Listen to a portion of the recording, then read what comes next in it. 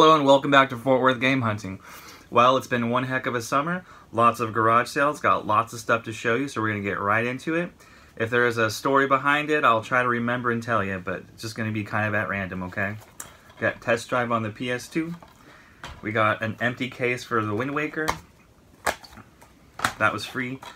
Yu Yu Hakusho, I think is how you pronounce it for PS2. Britney's Dance Beat.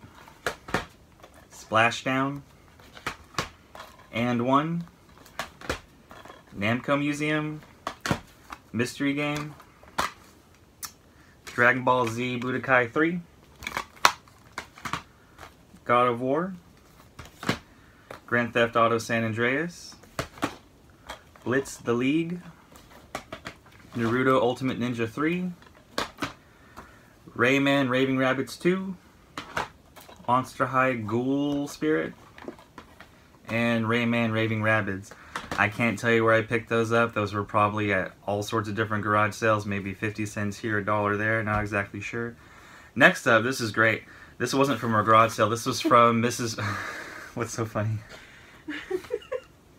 There's just this meme, and it's called Chill Bill Clinton, and it's just got shoes on it. I'm sorry, I didn't mean to Chill Bill Clinton. Those are, those are the shoes that he wears? Just like dad shoes and, and like Are those socks. current or is that when he was president? Probably both.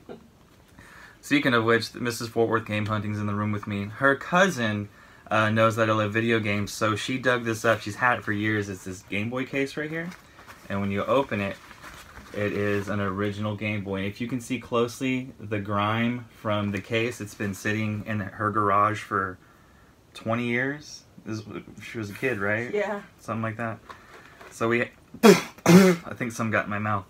There's the original Game Boy, and I'll just point out the games. There's Soccer Mania, Marble Madness, Tetris, uh, Ninja Turtles: Rise of the Foot Clan, and my favorite in here, if you can see through the grime, Battletoads for the Game Boy. Very happy about that. I haven't spoken to her since, so I need to give her a big fat thank you for that. Uh, next, we'll get into uh, an N64 bundle. This bundle, um, walked. I remember this story. I walked up the driveway into the garage, and I asked the woman for video games. But before I could finish game, I looked and I saw there was just an N64 sitting in there, and I was like, oh.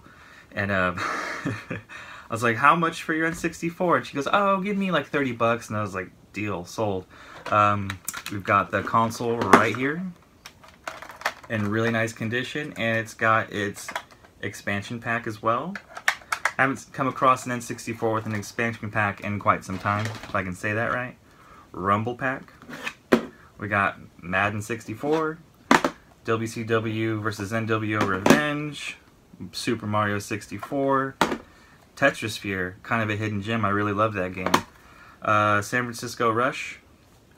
Um, she said that she had a few more games, but somebody just bought a couple games. And I asked which ones. She said a Zelda game and a uh, 007 game, so GoldenEye and I guess maybe Ocarina of Time, but that's okay.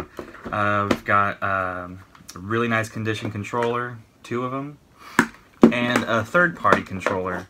This is the Rock 64-bit. I always love seeing these. I don't see kind of odd N64 controllers too often. Which, by the way, uh, that company uh, Retro Fighters uh, is making a brand new Nintendo 64 controller, and you can pre-order it for 20 bucks. So I did. I can't wait till that comes in. It'd be cool to have a new style N64 controller. And I, got, I don't think this was from that sale, but it's a watermelon N64 controller in really bad condition. I actually don't think it even works. It's kind of tore up.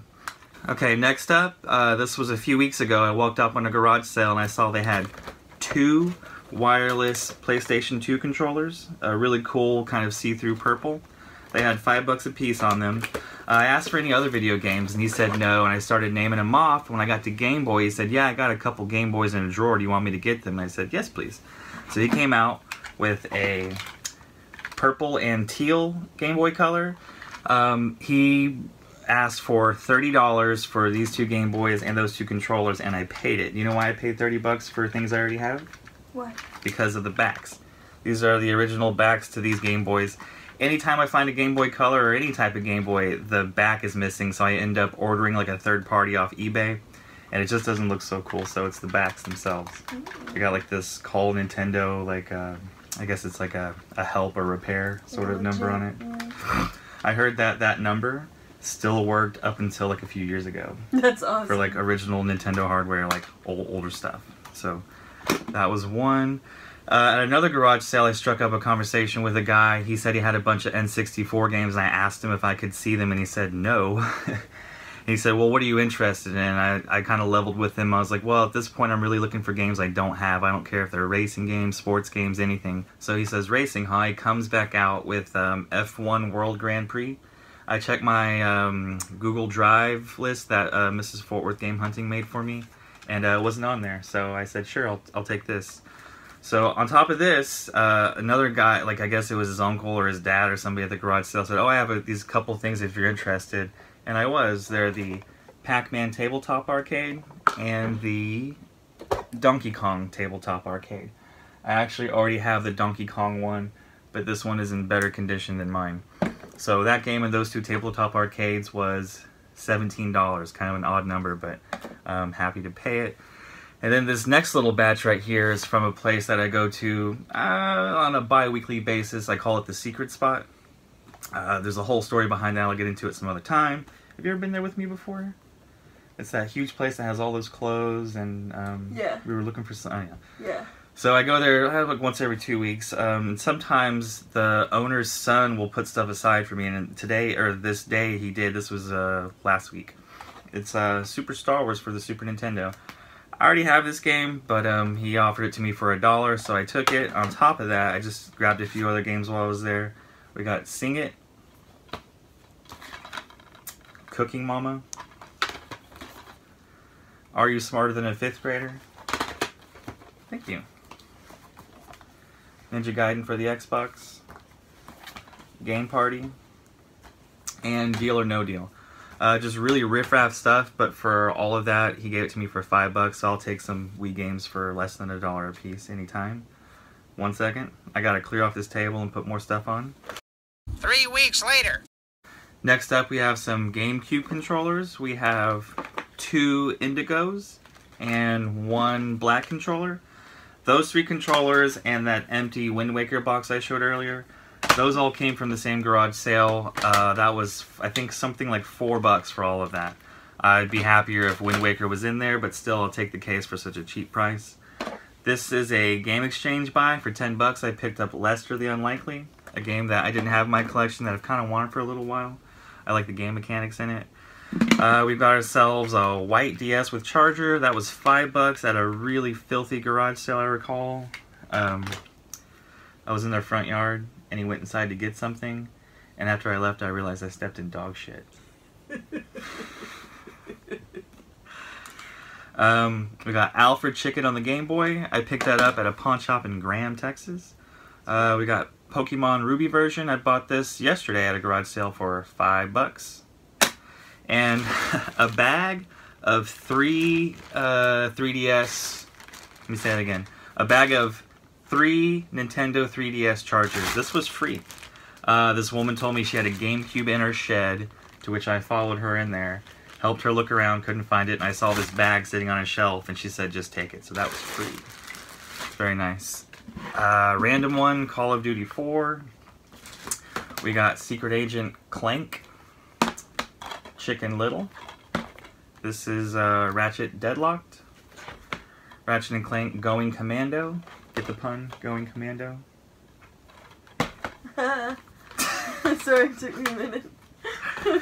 Uh, we've got two um, no-name cases. This is Dragon Ball Z Budokai 2 and Dragon Ball Z Budokai, the first one. Both of those for GameCube. Very cool. Um, there was those two games and a GameCube controller. I think I might have showed it in that other bunch. Uh, that was five dollars. Uh, we've got a couple random PS2 games: uh, Jet Li's Rise to Honor and Mafia. A couple of those PS2 games I showed came with this PlayStation 2 Slim model. Um, I got all the cords and a controller for it.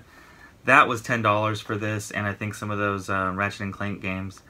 Um, asked a woman for video games. She invited me into her house this time. Different, a different lady. Mm. It was like just right in the front door. There was like a dresser, and this was in the top drawer of the dresser. And the funny part about this is, um, uh, right behind me was another game hunter or some dude also looking for whatever you know whatever he was doing, looking for video games. And he saw me pick up that stuff and leave, and he was asking the woman like, "Is there any more? Do you have any more?" but uh, no, because I got them. And then, lastly, this is going to be the last thing. Um, I had a really odd day of garage sailing. of uh, probably last month, I guess, sometime in early August, I'd say. I found a couple of very random things, things that I'm happy to find, but extremely random. First would be this. Can you guess what this is? This is the mouse pad for Mario Paint on the Super Nintendo. Um, I asked this woman if they had any video games. She went inside and brought out an original NES with like 10 games. And her husband's like, no, no, no, what are you doing bringing that out? Put that back in. And I was like, oh, no, it's fine. You know, I, but can I make you an offer on this stuff? He was like, no. And so I walked away, but then after I was walking away, I remembered seeing this. And so I turned back around. I said, can I give you $3 for this thing? And he was like, yeah, sure. So $3 for a piece of plastic, but it's the Mario Paint uh, mouse pad. That's great. And this is one of the more I'd say it's probably the most interesting thing I've ever found at garage sales here in Texas, in Fort Worth, Texas, of all places. Uh, Famicom, Super Famicom controller.